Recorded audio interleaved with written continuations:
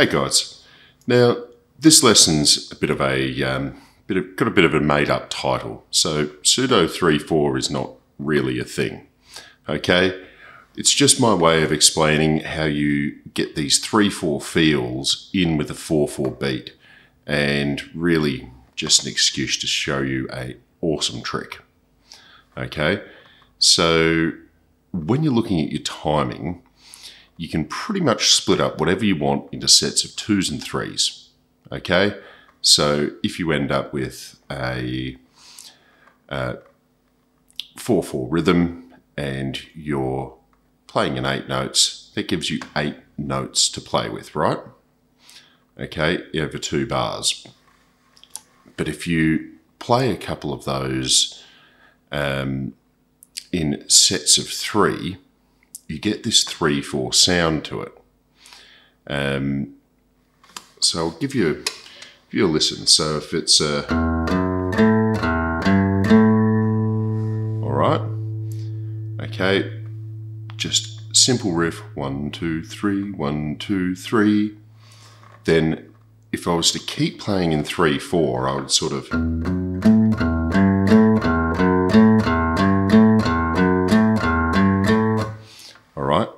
That's got a feel to it. But then if I want to keep it to a 4 4, okay, I'm going to add a 2 at the end. So 1, 2, 3, 1, 2, 3, 1, 2. Okay. All right. And it rounds it off. Now, it's when you start to increase the amount of these triplets, you'll really get a different feel to something. But um, let's just try and get this going first. So, one, two, three, one, two, three, one, two.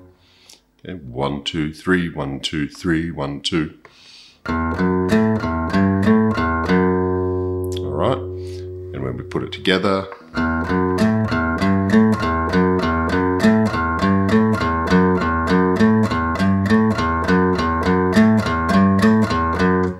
can start to see it's got a really cool sound. And if you sort of speed it up, you've got a really cool kind of uh, riff generating trick.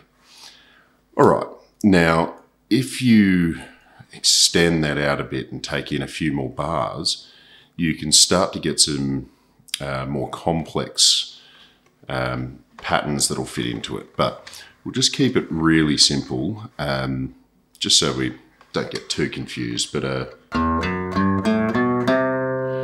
all right, I'm just running off the E minor scale here. So if you think about it, we could almost look at that and go, all right, one, two, three, one, two, three, one, two. All right, playing the notes in a sequence. But we're going to double it up, okay?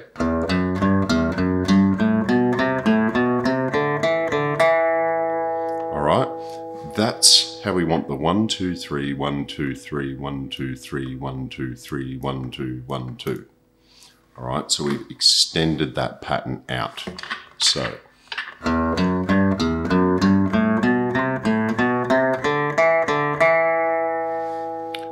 All right, so that's an easy way to wrap your head around it. Now, if we take it back and apply it to the riff from before,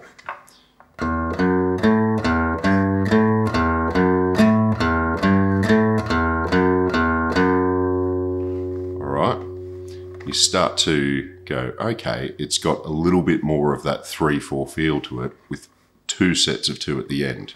So.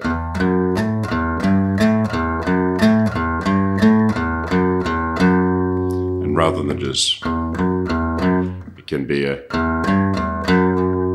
you can change it up. All right.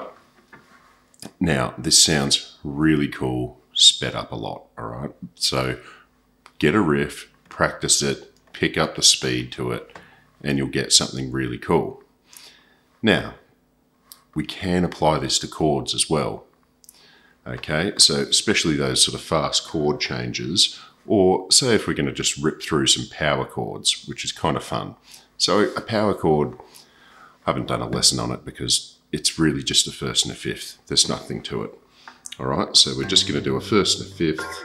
Might start on the A, but one, two, three, back.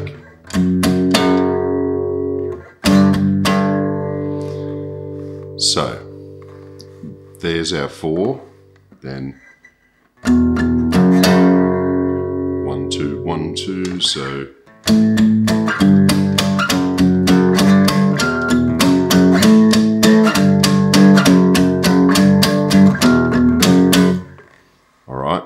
so we're just going to chunk through a couple of chords there. And then when you speed it up, uh,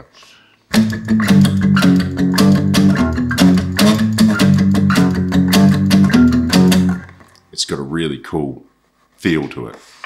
Now, whether a drummer plays a 4 4 over this or matches you with the 1 2 3 1 2 3 1 2 3 1 2 3 1 2 1 2, totally up to you how you're going to put that bit together, but both sound awesome. Okay? Now, not going to dive too much further into this one because it is really something you want to play with, but just that little trick as well. Get in there, try it out on some lead as well. All right, have a little muck around, see what comes out. Alrighty, we'll leave it there, and I'll see you next time.